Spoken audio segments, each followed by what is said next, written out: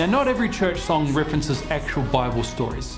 It's far more common to sing the metaphors of the Psalms than to sing about what the apostles got up to in the book of Acts. So, when I hear stories sung about in church, that gets my attention.